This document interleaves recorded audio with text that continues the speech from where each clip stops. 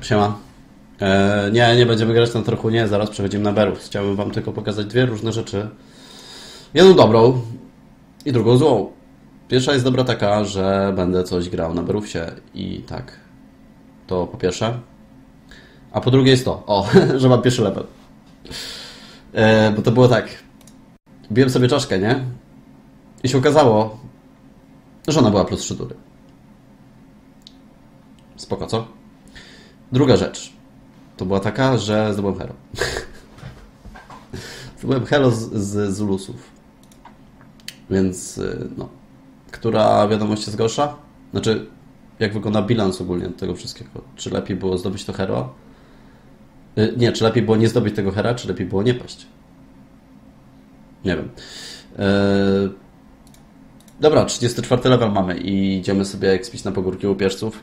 Mm, No, a pamiętacie jeszcze, jak nagrywałem dzisiaj, bo dzisiaj nagrywałem też i ten odcinek, powiedziałem, że a, pójdę sobie na miśki, ekspić i tak dalej. Poekspiłem sobie dwie minuty, przestraszyłem się jakiegoś ziomeczka, który sobie ekspił i w sumie godzinę potem padłem. Jednak kto nie ryzykuje, ten nie pije szampana. Ja naprawdę o tej porze chodzi tu tyle ludzi. Czy ci ludzie naprawdę nie mają co robić? O godzinie 19.49. Kurwa, czy aż tyle osób naprawdę expi w tej grze? Dobra, to robimy inaczej. Idziemy sobie na 40 wojownika i idziemy go expić. Trudno. Hero... Nie jeden heroik na nim zdobyłem, postał sobie. No, więc możemy wrócić. Yy, tak. Ogólnie jest taka elitka druga, która się nazywa, nie wiem jak, ale ma 23 level i ona została wprowadzona niedawno. I myślałem sobie, czy może tym tropicielem właśnie na nią nie iść. Ale raczej na Berówsie by to nie wypaliło, bo tam jest żółta mapka na innych światach, więc na Berówsie byłaby czerwona. No. Tak? Nie. Czy na Berówsie tak... Nie, to na Brutalu tak jest! To ja głupi jestem. To ja mogę tam iść. Tu na brutalu tak jest, że żółte to czerwone. Tutaj żółte to żółte. Tylko czerwone to czerwone. Tylko chodzi o to. To jestem debilem. To ja mogę tam iść, rzeczywiście. Ej, to może sobie postoję tam, pokażę wam w następnym odcinku. Tylko wiecie, że jestem na tyle nierozgarniętą osobą, że ja nawet nie wiem jak tam wejść. Ponoć trzeba jakiś klucz mieć, ale tak dokładnie to nie wiem. I też zdziwiło mnie coś takiego, że nie wiem co to jest za opcja dialogowa. Skoro ja normalnie mogę iść do Nital, to dlaczego tutaj jest opcja dialogowa, żeby iść do Nitel. Nie wiem, to jakiś event czy co? Bo, no dobra. Okej. Ale o co tu chodzi tak naprawdę? No dobra. Chodzi mi o to. To co, jak ja powiem mu, że chcę do Nital, to po co są te dwie opcje dialogowe? Czy ja naprawdę nie muszę TP robić, czy o co tu chodzi teraz? Bo ja tego nie rozumiem. Konkretnie tego nie rozumiem, ale nieważne. Eee, dobra, jakichś zapasów dużych to ja tutaj nie posiadam.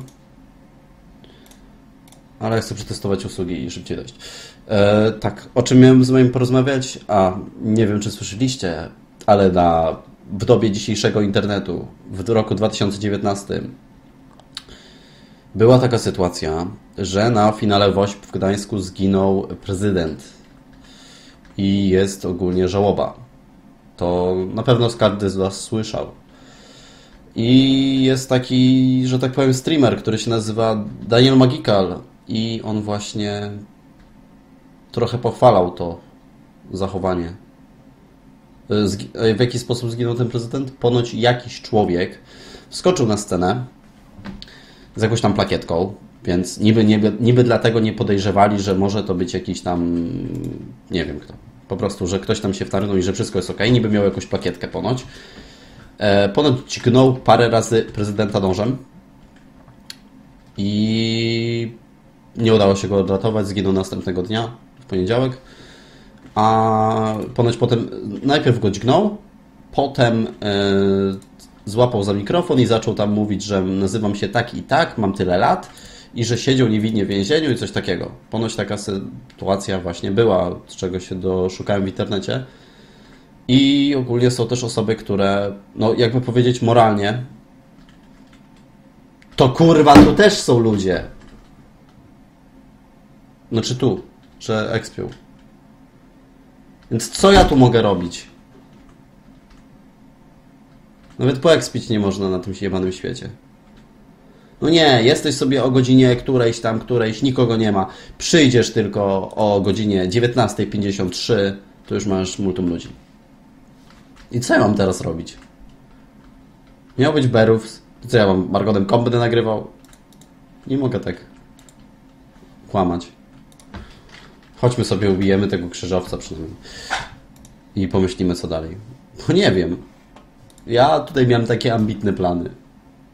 Chciałem poekspić. Chciałem tu poekspić, chciałem tam poekspić. Tu nie poekspiłem, tu też nie poekspiłem. O, tu nawet na krzyżowcu nie jesteśmy, bo nas ktoś zabił. Zbroję sobie kupiłem.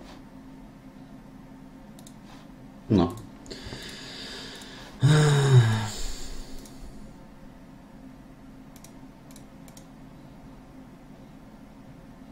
Nie chcę mi się tancem grać.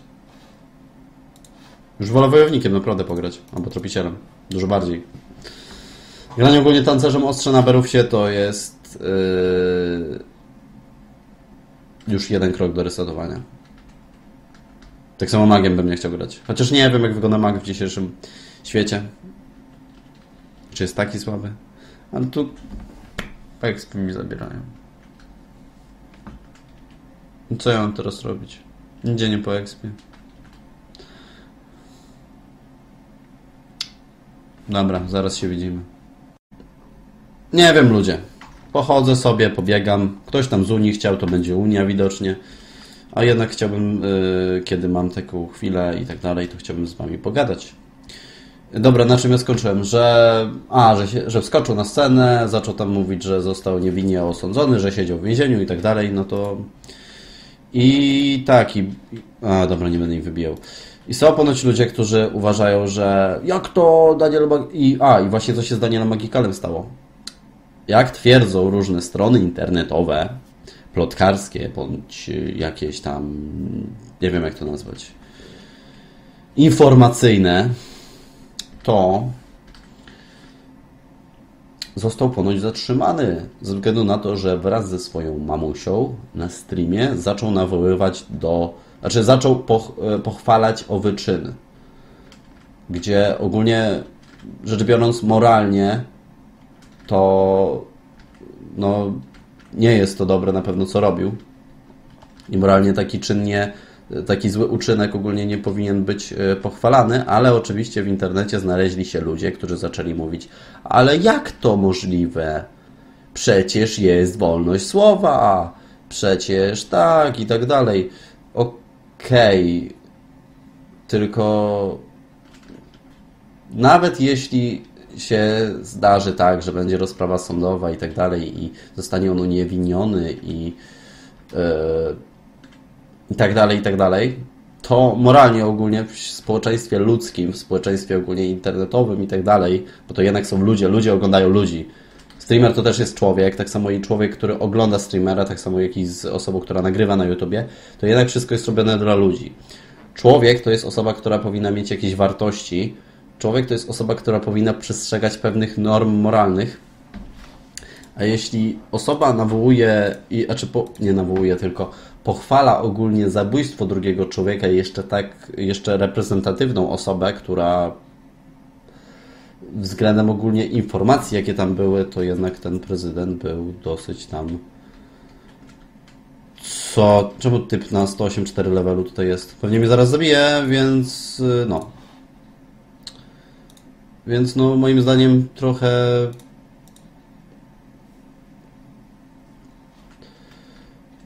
trochę przesadził. I... Ale właśnie chodzi mi o to, że znajdą się i tak ludzie, którzy będą mówili, że o nie, no on dobrze mówi, dobrze mówi, zabijać i tak dalej, no. To jak ja właśnie patrzę na takie spostrzeżenie, to naprawdę wartości ludzkie, wartości moralne, normy jakieś naprawdę wśród dzisiejszych ludzi to chyba trochę wymierają, skoro naprawdę są ludzie, którzy potrafią pochwalać takie czyny. Ale ogólnie rzecz biorąc, jeśli mam sam się też jakoś odnieść do tej samej sytuacji z Bośpu, to powiem Wam tak. Ponoć tam Jurek Owsiak miał rezygnować z tego, ludzie chcą, żeby wrócił i tak dalej. Ja nie będę tego na pewno oceniał, bo nie jestem. Po prostu nie będę tego oceniał, bo nie zamierzam.